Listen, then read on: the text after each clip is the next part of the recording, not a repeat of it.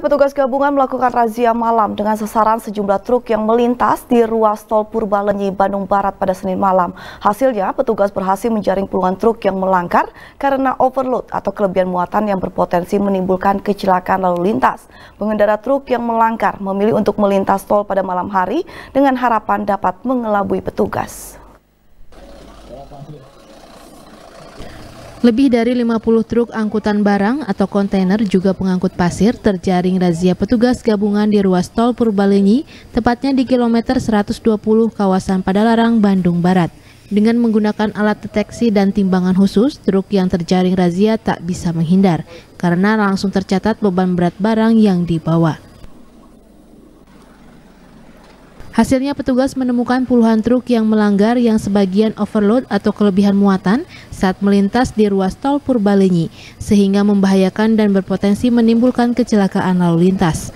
Selain melakukan tindakan penilangan, petugas pun langsung menempelkan stiker peringatan overload dan overdimensi.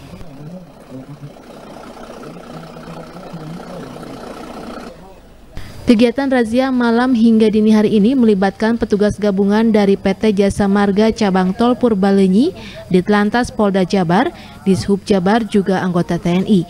Biasanya razia digelar pada siang hari. Untuk pertama kalinya razia dilakukan malam hari oleh petugas karena disinyalir banyak pengendara yang melanggar, melintas tol di malam hari untuk mengelabui petugas.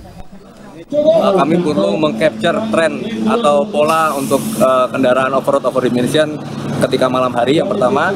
Yang kedua, uh, operasi ini juga dilaksanakan untuk mendukung operasi zebra yang dilaksanakan sampai dengan uh, 5 November 2019 yang merupakan program dari kepolisian. Jadi selain dicek uh, off-road dan over dimensionnya juga dicek kelengkapan kendaraan seperti itu. Selain ditindak, sejumlah truk terpaksa tidak melanjutkan perjalanan dan kendaraan dikandangkan petugas karena membahayakan keselamatan lalu lintas. Sejumlah truk juga ditemukan dalam kondisi tak layak jalan karena ban gundul serta bermasalah dalam fungsi rem. Razia ini akan terus dilakukan karena dalam kurun waktu tiga bulan terakhir sering terjadi kecelakaan lalu lintas di tol Purbalenyi, salah satunya akibat kelalaian pengemudi truk termasuk adanya kelebihan muatan. Algi Muhammad Gifari, Bandung TV.